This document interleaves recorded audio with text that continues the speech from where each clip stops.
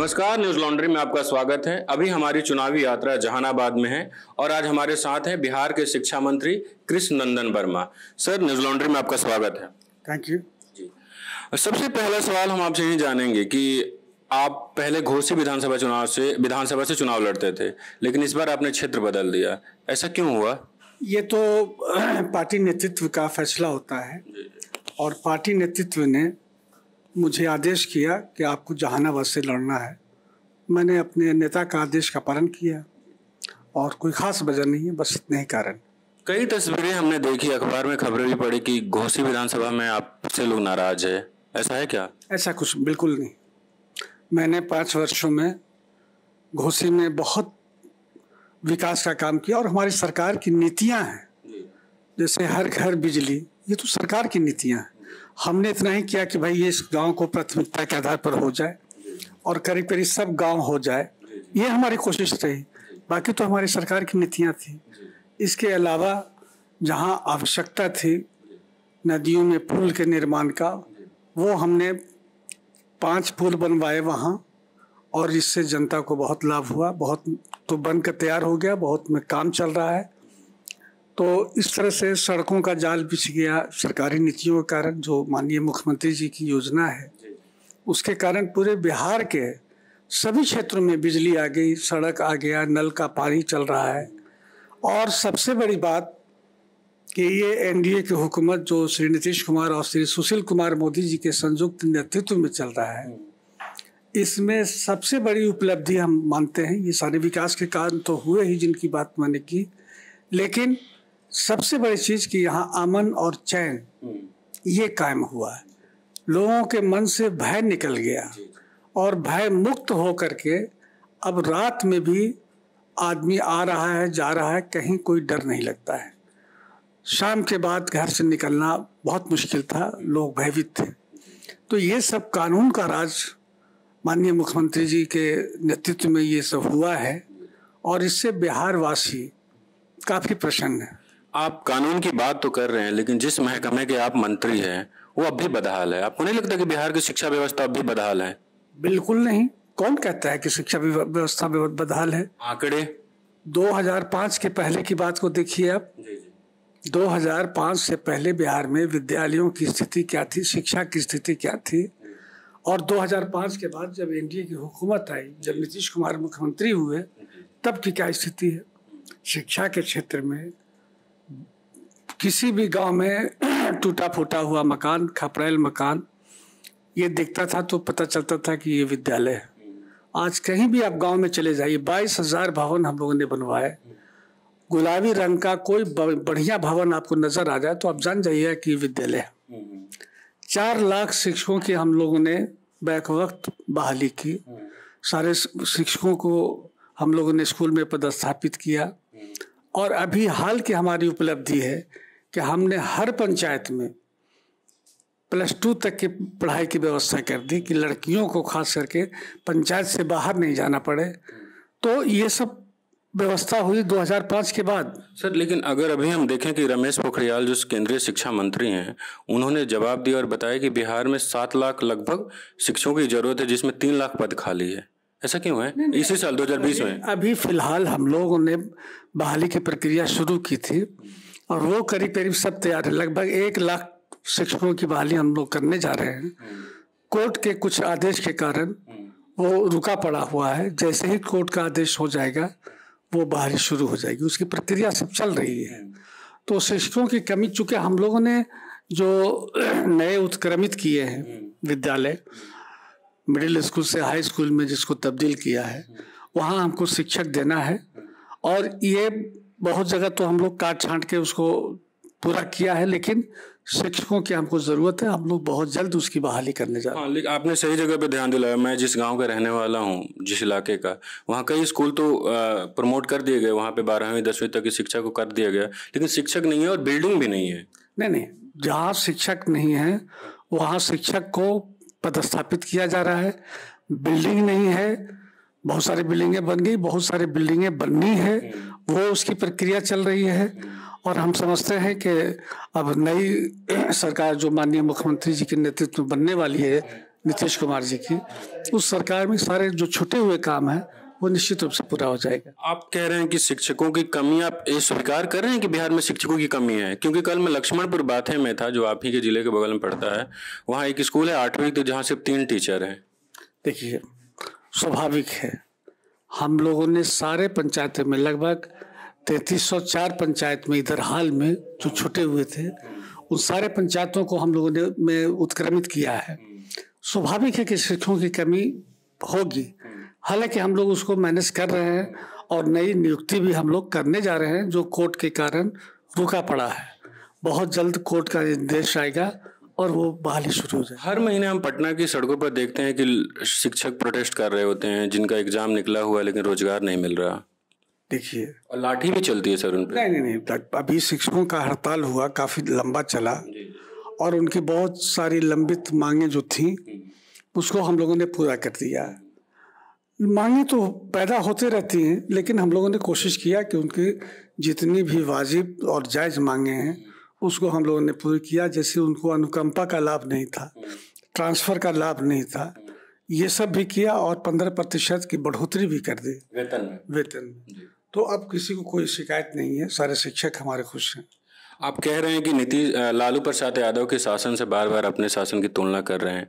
लेकिन एक चीज़ है जो नहीं बदला, इस बिल्डिंग तो बनी है, हम तमाम लोग ये बात ज़रूर कहेंगे, कि पहले भी बिहार के जो यूनिवर्सिटी है, वहाँ से जो छात्र पढ़ते थे, उनको ग्रेजुएट होने में चार साल, पाँच साल लग जाता था। ये परंपरा अब भी बनी हुई है। क्यों बनी रही?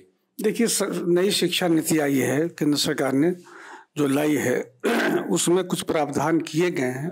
वो पूरी तरह अभी लागू नहीं हुआ है। नहीं इस नई शिक्षा नीति की बात नहीं कर रहे सर। आपके यहाँ जो छपरा यूनिवर्सिटी हो गया मगध यूनिवर्सिटी हो गया वहाँ से पाँच साल छह साल लग जाता है सिर्फ़ ग्रेजुएट होने में।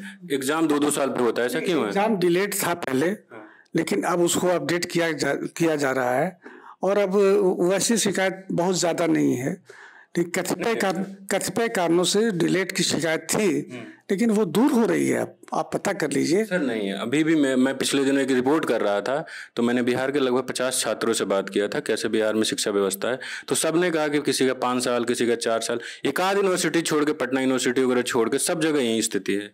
नहीं ये आपकी रिपोर्टिंग आप बोल रहे हैं लेकिन जो मुझे खबर है कि कंपेरेटिवली इसमें तेज़ी आई है और कहीं कहीं कुछ खास कारणों से अगर रुका हुआ भी है तो उसको शॉर्ट आउट किया जा रहा है और इसको हम लोग नियमित कर लेंगे। अच्छा बिहार में पटना यूनिवर्सिटी को केंद्रीय यूनिवर्सिटी बनाने की मांग लंबे समय से चल रही है।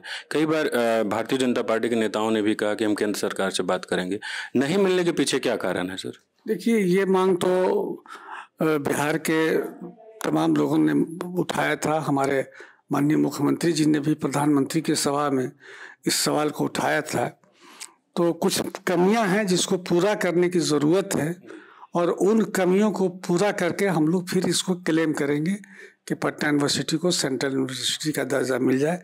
प्रधानमंत्री का भी रुख पॉजिटिव था, लेकिन पता नहीं किन कारणों से ये नहीं हो सका, शायद कुछ कमी रह गई थी हम लोगों की तो उसको हम लोग पूरा करके हम लोग फिर दावा पेश करेंगे। नीतीश कुमार ने सर, शुरुआती दौर में लड़कियों को शिक्षा बेहतर मिले साइकिल योजना के शुरू की कुछ उसका पॉजिटिव इम्पैक्ट हुआ, वो लड़कियाँ कुछ कर रही हैं, कुछ बदलाव है? आप गाँव में जाइए, पहले कहीं भी कोई लड़की सबसे पहली बात तो बिहार की उपलब्धि हमारी ये है कि स्कूल से साढ़े बारह प्रतिशत बच्चे स्कूल से बाहर थे।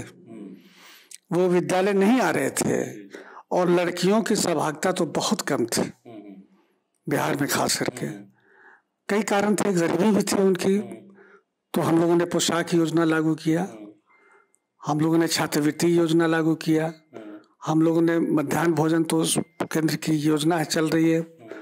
और इसके साथ साथ ये आगे चलकर जो हम लोगों ने महसूस किया कि भाई लड़कियाँ, लड़कियों ने डिमांड भी किया तो हम लोगों ने साइकिल योजना चलाई। और इसका लाभ ये हुआ कि साइकिल चला करके जब गाँव से लड़कियाँ निकलती हैं तो गाँव का परिदृश्य बदल गया।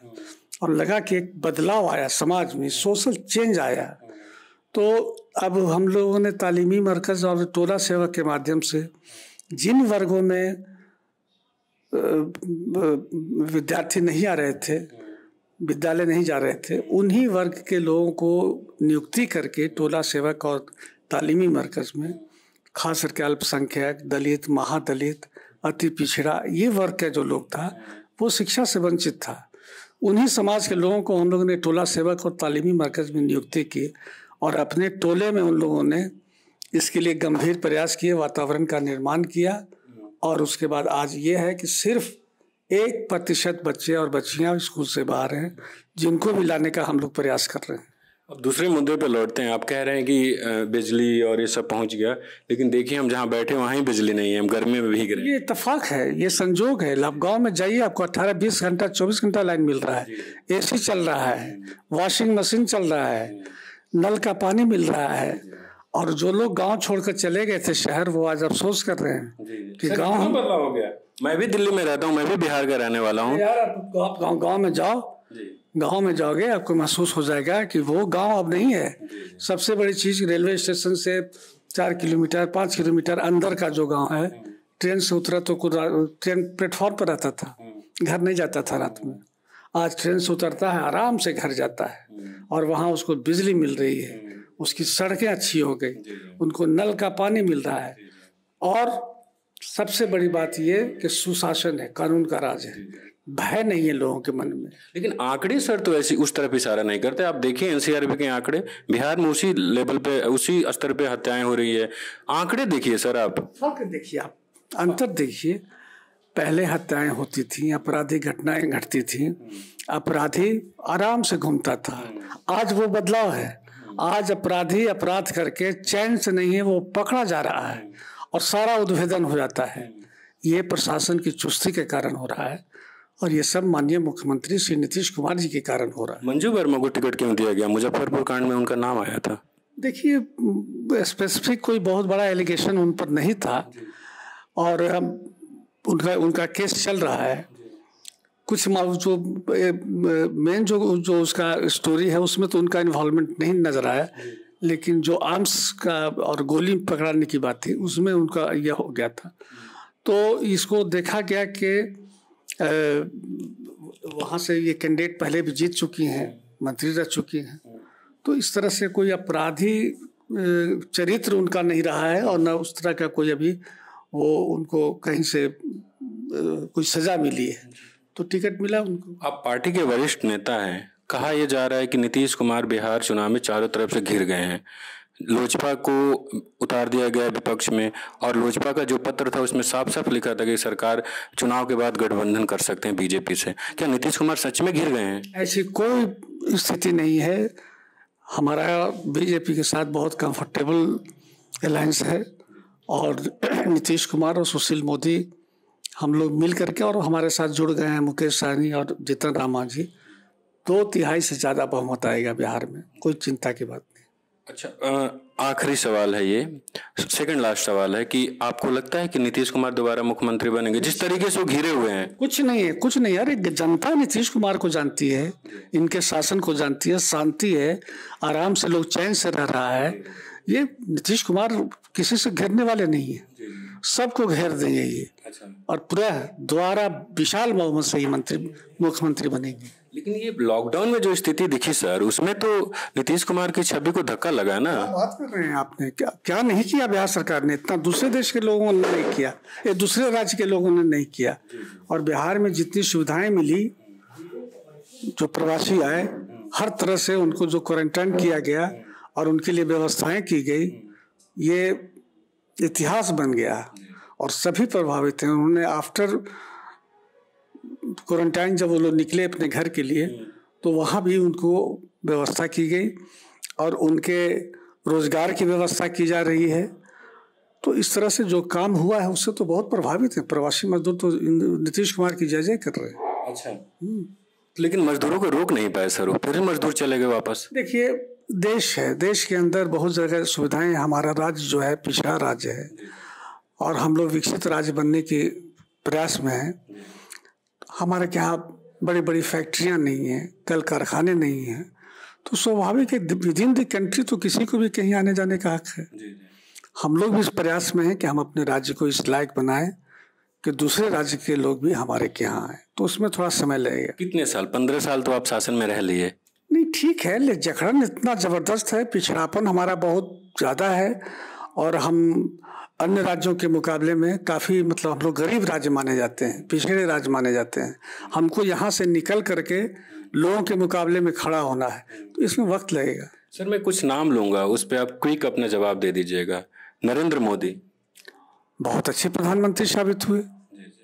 देश को मज़बूत किया उन्होंने और विकास की खास करके बिहार को विकास के लिए मामले में बहुत सारी राहतें दी बहुत तरह का सहयोग दिया और बिहार उनकी ताकत पर आगे बढ़ रहा है। राहुल गांधी? राहुल गांधी तो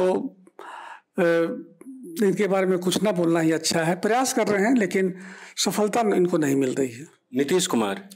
बेहतर मुख्यमंत्री विकास करने वाले सुशासन लाने वाले और तनाव की जगह सद्भाव पैदा हो समाज में सबसे बड़ा काम इनका यही हुआ। जहानाबाद किसके लिए मशहूर था मालूम है? जी जी जी जी। आज आज आज वो जहानाबाद सद्भाव के लिए जाना जाता है। तनाव खत्म है। नरसंहार का दौर खत्म हो गया।